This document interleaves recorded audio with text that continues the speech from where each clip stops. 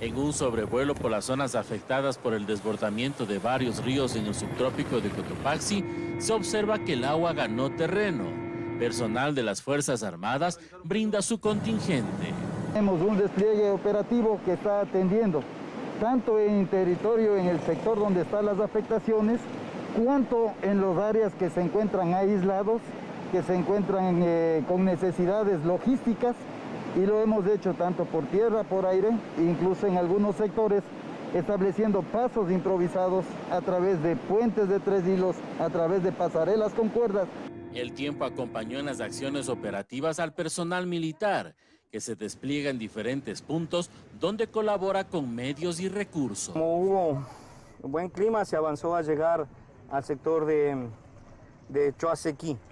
Este sector es donde hay más o menos 15 familias, es en, una, en la montaña y baja a una planicie y como están igual incomunicados, se avanzó a entregar eh, víveres.